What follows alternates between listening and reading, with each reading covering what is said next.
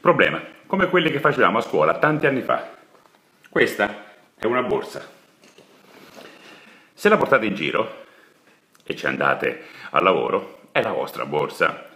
Se siete una donna e la portate magari a tracolla, è una borsa da donna.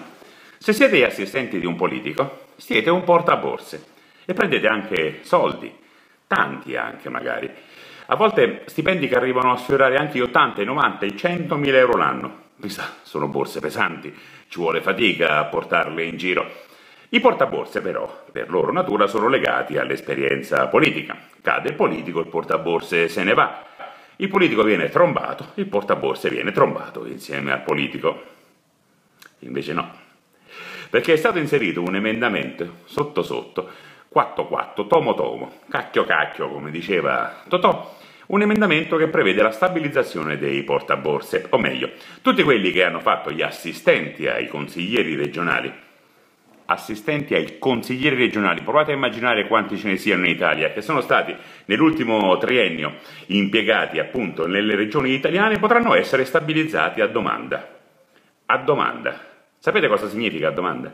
Che basterà fare una domandina per diventare dipendenti a tempo pieno delle regioni, cioè per trovarsi un posto pubblico, una domandina, da portaborse a dipendenti pubblici.